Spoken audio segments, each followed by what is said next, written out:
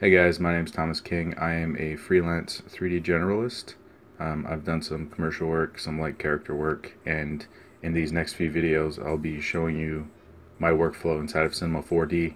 Um, it's not always going to be 100% the same, but Cinema 4D's got some really robust tools and you don't always have to do things the same way all the time and I kind of go through that.